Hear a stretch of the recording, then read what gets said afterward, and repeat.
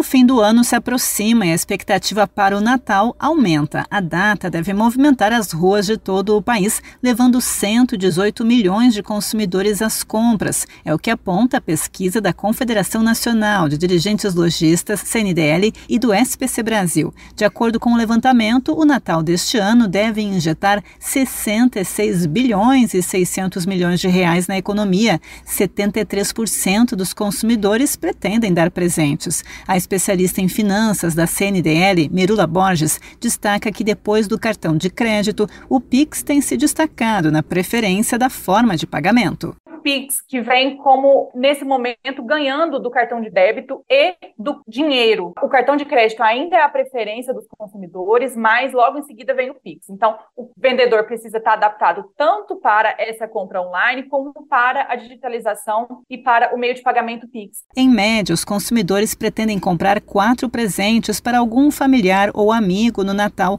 com um preço médio de 132 reais, mas 40% disseram que vão comprar presentes presentes com valor de até 100 reais. Na percepção de 70% dos entrevistados, os preços dos presentes deste ano estão mais caros que do ano passado. Entre os itens que mais devem ser comprados estão roupas, calçados, perfumes ou cosméticos, brinquedos e acessórios. E para os que pretendem pagar parcelado, atenção para não se perder nas contas. O cartão de crédito vai ser o preferido dos brasileiros na hora de às compras e muitos deles disseram que vão parcelar em média entre quatro e cinco vezes. Para o consumidor, é importante ficar atento, já que essas quatro ou cinco parcelas que ele pretende fazer pega também nas contas de início de ano, com o IPTU e IPVA chegando, é bom fazer realmente as contas para saber se vai caber dentro do orçamento com essas despesas extras que a gente tem no começo do ano. De acordo com a pesquisa, 82% dos consumidores pretendem realizar compras nos canais offline, ou seja, nas lojas de departamento ou em shopping centers,